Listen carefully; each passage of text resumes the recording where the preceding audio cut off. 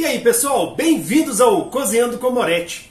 Hoje em especial ao Carlos Moro, nós vamos fazer uma quiabada, que é uma maravilha, tradição no Nordeste brasileiro.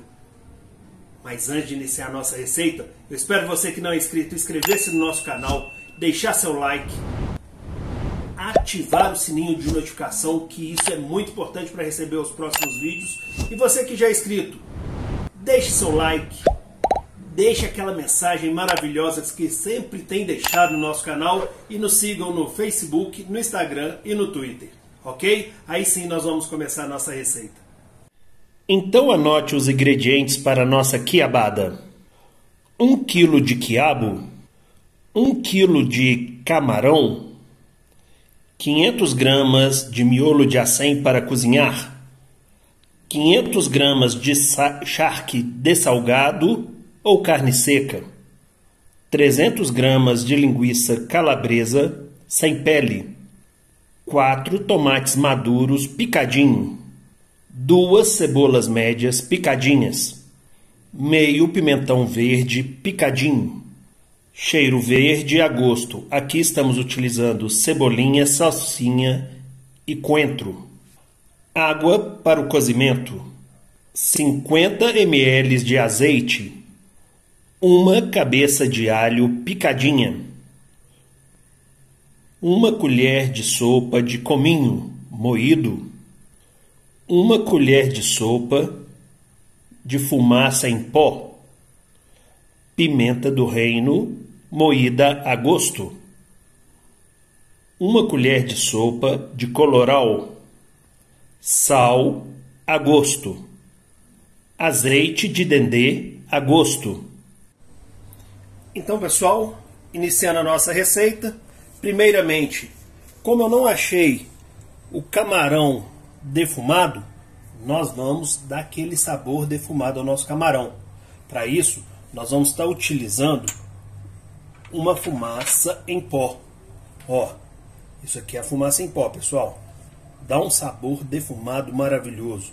Nós vamos colocar sobre nossa, nossos camarões. Ó. Vamos colocar também um pouquinho de pimenta moída. Vamos colocar um pouquinho de cominho para dar um sabor especial. Como a fumaça líquida já é um pouco salgado, vamos colocar só uma pitadinha de sal, ok? Agora o que nós vamos fazer? Misturar todos os ingredientes. Aqui o nosso camarão já está lavado, tá pessoal? Ó, olha que maravilha. E agora, esse camarão, nós vamos deixá-lo descansando até a utilização dele na nossa receita. Observem também que o nosso camarão ele já está sem cabeça, ó. a cabeça do camarão nós não utilizamos, tá? Então aqui, ó, nós vamos reservar os nossos camarões, enquanto isso ele vai estar tá absorvendo os sabores de todos os temperos, ok? Então vamos lá. Então pessoal, uma panela de pressão ao fogo, vamos colocar azeite. Ó, um fio de azeite generoso. Agora nós vamos colocar aqui as nossas cebolas. Ó.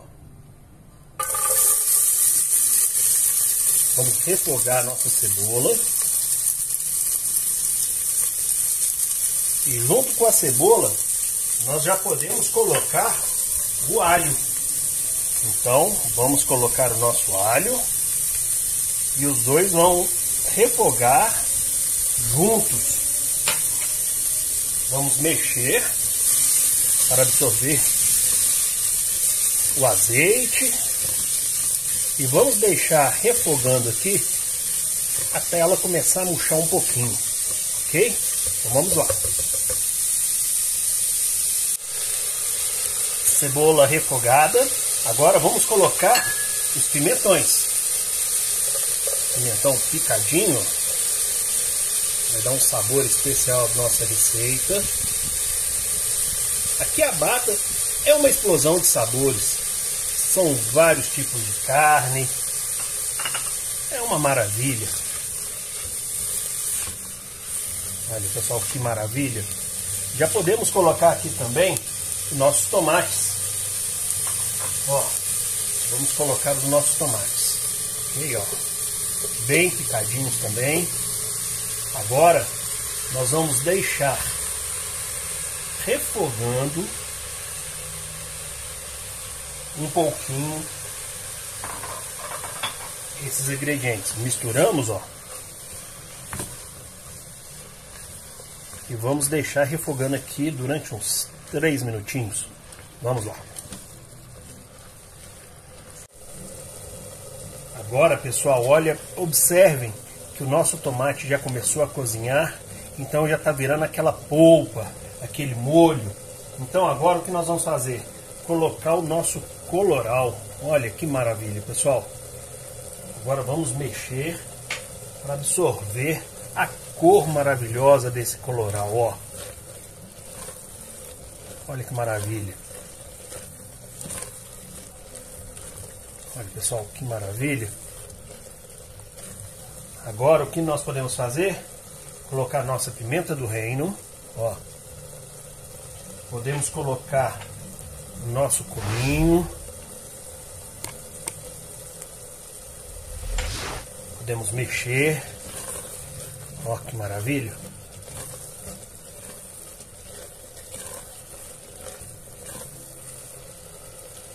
Agora podemos colocar cheiro verde.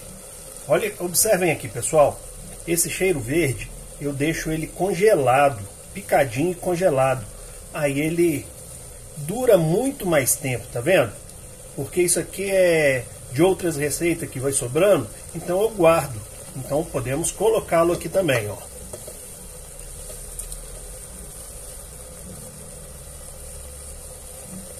Agora vamos mexer esses ingredientes. Ó. Olha que maravilha. Agora podemos começar a colocar nossas carnes. Então vamos colocar a carne.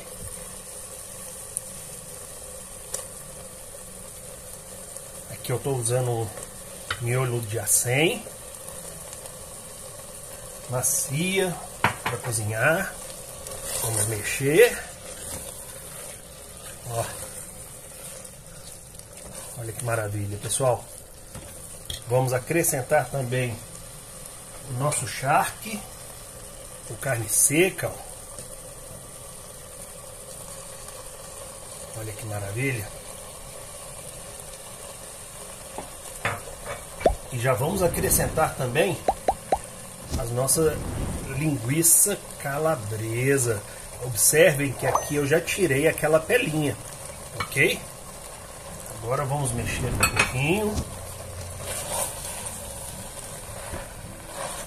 Olha pessoal, que maravilha. Que explosão de sabores. Ó. Vamos acabar de colocar as nossas linguiças.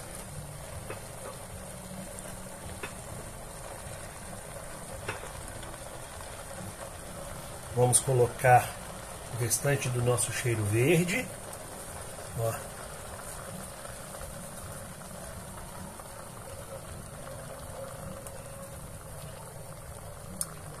Agora vamos mexer mais um pouco.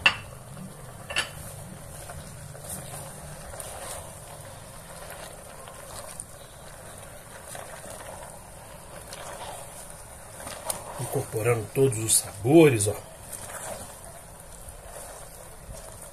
E agora, o que nós vamos fazer? Colocar água até cobrir os nossos ingredientes. Vamos lá.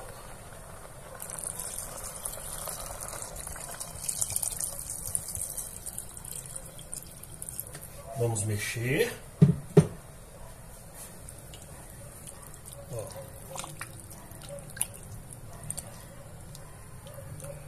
colocar um pouquinho de água.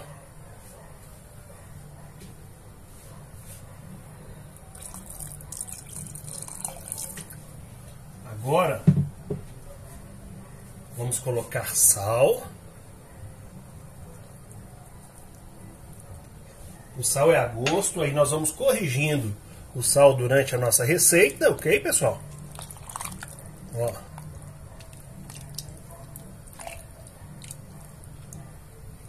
Como a nossa carne seca, o charque ele já está de salgado, então nós temos que corrigir o sal. Senão ficaria muito salgado, ok? Então agora vamos fechar a nossa panela esperar começar a dar o chiadinho da pressão e aguardar 15 minutos. Aí nós vamos ver a, a textura da nossa carne, do nosso molho e voltamos. Então, pessoal, passou 15 minutos, eu apaguei o fogo, verifiquei como que estava a textura da carne. Estava bem rígida ainda. Aí nós deixamos mais 10 minutos. Agora vou mostrar para vocês a qualidade do nosso molho. Observem, olha aqui, olha, carne cozidinha, tomate cozidinho, olha a cor do nosso molho. Agora o que nós vamos fazer? Nós vamos reservar esse molho e voltar com a outra parte da nossa receita. Então vamos lá.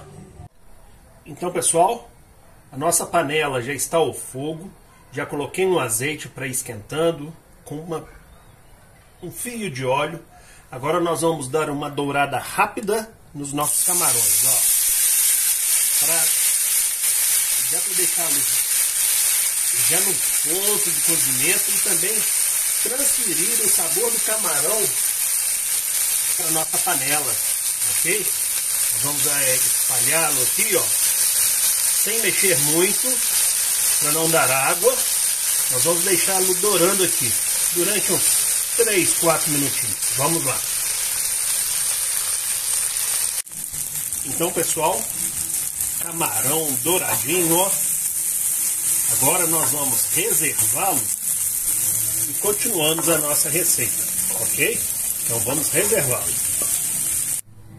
Então, pessoal, Agora vamos colocar um fio de azeite ó, na nossa panela, onde nós fritamos o camarão. Vamos colocar o nosso quiabo, ó, e vamos dar uma fritada no nosso quiabo, ok? Vamos mexer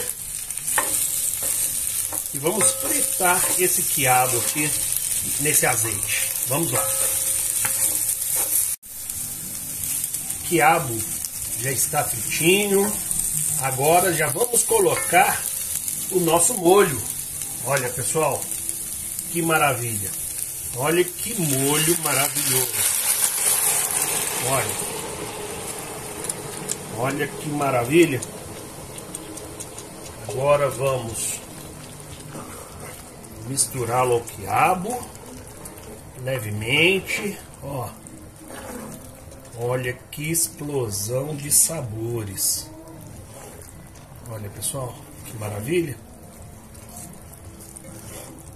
Ó.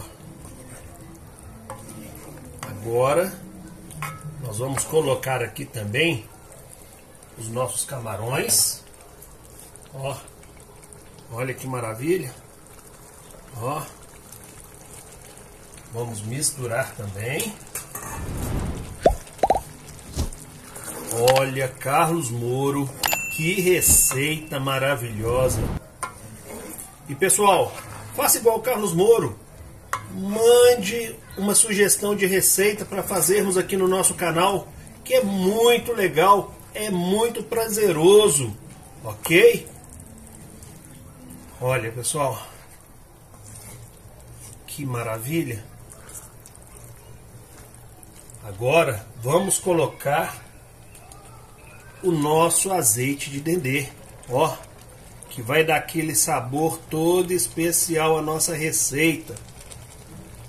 Vamos misturar. Aí o azeite de dendê é opcional, é a gosto, ok, pessoal? Eu amo um azeite de dendê. Então, olha que maravilha. Olha, pessoal. Agora o que nós vamos fazer? Nós vamos colocar mais um pouquinho de água, uns 200 ml de água, ó, e vamos misturar mais um pouco. E agora nós vamos deixar cozinhando mais 20 a 30 minutos. Eu não quero o quiabo desmanchando. Eu quero ele cozido, sem desmanchar. Então, durante esses 20, 30 minutos, nós vamos mexendo lentamente, devagar, retirando o quiabo, os outros ingredientes do fundo da panela para não deixar agarrar e voltamos. Então vamos lá. Passado 20 minutos, olha que maravilha. Ó. Que maravilha. Então agora o que nós vamos fazer? Nós vamos degustar o tempero, o ponto do nosso quiabo, para vermos se vamos continuar deixar cozinhando ou não. Hum. O quiabo ele está cozido, não está desmanchando. O tempero ideal, um sabor maravilhoso, uma explosão de sabores. Agora o que vamos fazer? Vamos colocar coentro. Sou apaixonado por coentro. Ó. Vamos colocar bastante coentro. Aí é opcional, tá, pessoal? Ó. Olha que maravilha. Bastante coentro. Que uma quiabada sem coentro não é uma quiabada. Olha que maravilha. Agora o que nós vamos fazer? Nós vamos desligar o fogo da nossa panela. Vamos apagar e voltamos montando e degustando essa maravilha. Vamos lá. Então, pessoal, prato preparado. Agora é aquela melhor hora a hora de degustarmos a nossa receita. Vamos lá? Uma pimentinha acompanhando, ó. Uma pimentinha, um arroz branco com alho. Então, aquela melhor hora. Vamos degustar a nossa quiabada, pessoal. Ó, com uma linguiçinha, com quiabinho. Vamos degustando, ó. Hum. Um arrozinho. Ó, uma carne seca. Ó. Hum. Que maravilha! E bom apetite! E aí, Carlos Moro? E aí, pessoal? O que acharam da nossa quiabada? Uma explosão de sabores, uma maravilha. Fica mais essa dica do Cozinhando com Moretti, uma quiabada nordestina. É uma maravilha. Mas antes de terminarmos, você que não é inscrito, inscreva-se no nosso canal, deixe seu like, ative o sininho de notificação para receber mais receitas. E você que já é inscrito, deixe sua opinião, sua sugestão de receita, que isso é muito importante para gente. E nos sigam no Facebook, no Instagram e no Twitter, ok? Muito obrigado, até a próxima, tchau!